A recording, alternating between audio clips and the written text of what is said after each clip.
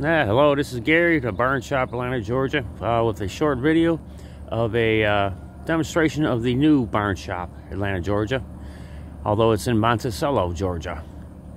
I'll be moving into it in another month or so, and we'll take a look on the inside. Yeah. So on the inside, the actual size is 20 feet deep by 40 feet long.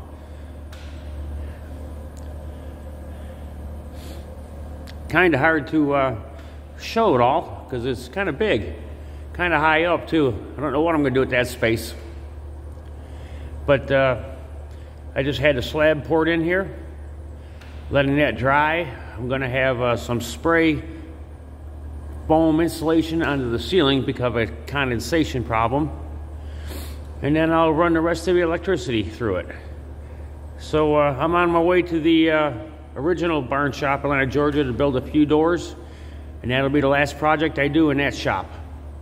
Well, thanks for watching. Please stay tuned for more episodes of the new barn shop.